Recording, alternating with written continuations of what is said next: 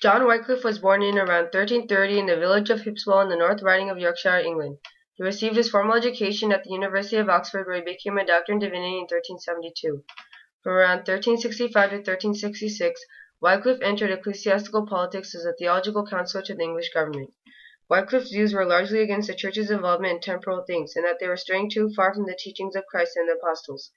With the support of Oxford and protection of John of Gaunt, Wycliffe launched a systematic attack on the Church in the late 1370s. One of his principal beliefs was that the Holy Bible, being the words of God, had more authority than the Church. From 1380 to 1381, Wycliffe spent time on translating the Bible into vernacular, and forming a preaching group called the Lollards, who followed his views. Wycliffe continued writing about problems in the Church until he died from a stroke in 1384.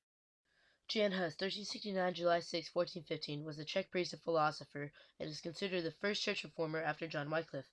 Hus was a key predecessor to the Protestant movement of the 16th century, and his teachings had a strong influence of the states on Europe, mostly in approval for the existence of a reformist. On November 1, 1414, the Council of Constance was founded to put an end to the papal schism to take up the long desired reform of the Church. Hus was willing to make an end of all problems and agreed to go to Constance because of Emperor Sigismund's promise of safe passage.